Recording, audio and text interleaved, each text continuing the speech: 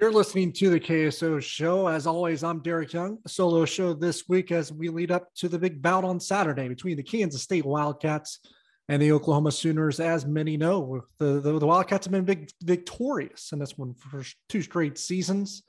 Um, on the heels of a 48, I believe 48 41 win over Oklahoma in 2019, which happened in Manhattan, like uh, this weekend's contest will where it will be. And last year, in in a, in a season ravaged by COVID and on the heels of a of a loss to Arkansas State, they were able to upset the Sooners 38 to 35. Uh, that being in Norman. We're back in Manhattan for this mountain, and this is an episode of the KSO show where we really lock down and and kind of gear up for for specific matchups in a contest that we that we think will prove to be critical and kind of tip the scales one way or the other. And just as we're on the heels of a pretty disappointing loss by by Kansas State once again in Stillwater against Oklahoma State, it was by a score of 31 to 20. They really were not able to produce any semblance of a passing game. And look, Oklahoma's not. They're not idiots. They're going to make Kansas State pass to win. That's what they will do.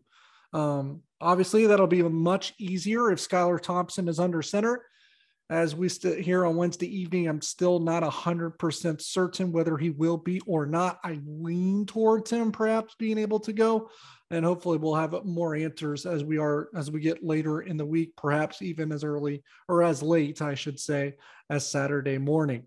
But as of now, I still think that the passing game is going to be uber important in this matchup against Oklahoma. They saw what Oklahoma State did. They'll try to duplicate that formula, at least from a defensive standpoint and really make Kansas State throw the ball to win. And will they be able to do that? Uh, it'll certainly be easier if Skylar Thompson's the quarterback. I really have my doubts if it's Will Howard and or Jaren Lewis under center. Nothing against those guys, but this offense looks remarkably different when Thompson is at the helm. Whether you think he's a special player, good player, great player, um, really that's not up for debate right now. It's up for debate like who is the quarterback when Kansas State plays their best football, and without a doubt, that is Skylar Thompson. Hopefully, he'll be a quarterback for Kansas State this weekend. Whether he is or not, that doesn't change the fact for me that the passing game is going to be the most important phase.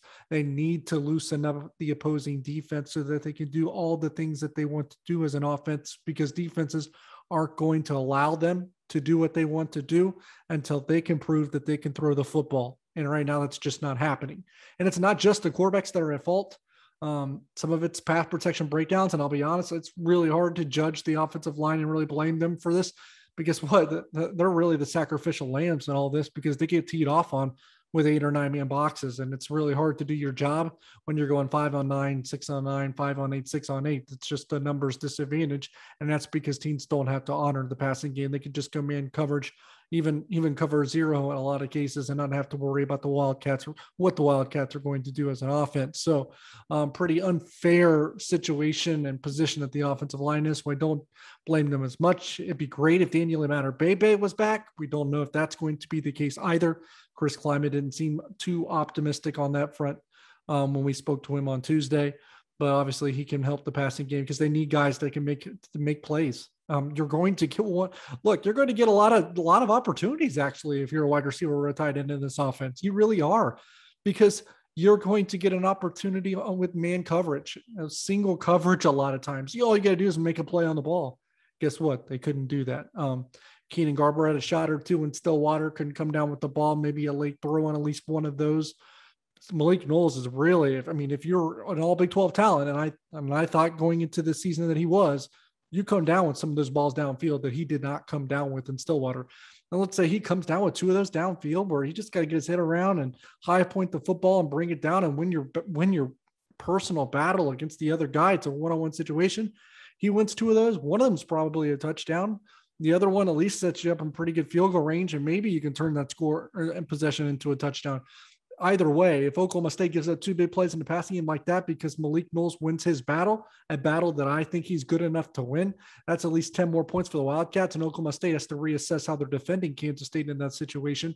Then you loosen up the defense a little bit and you're able to run the football a little bit better. You're able to get your best football player Deuce Vaughn in space a lot more.